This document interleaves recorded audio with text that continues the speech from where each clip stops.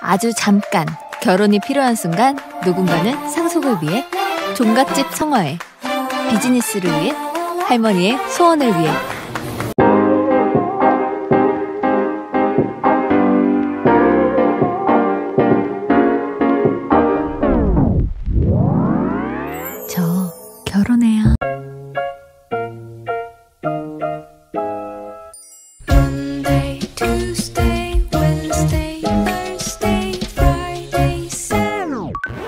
화목도 나랑 계약하죠.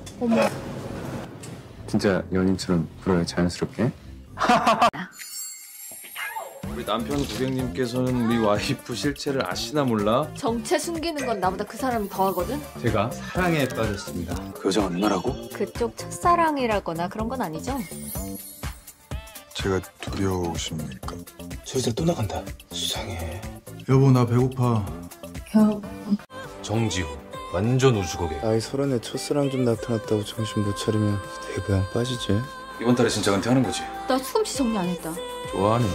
지호 씨에 대해서 궁금하기도 하고요.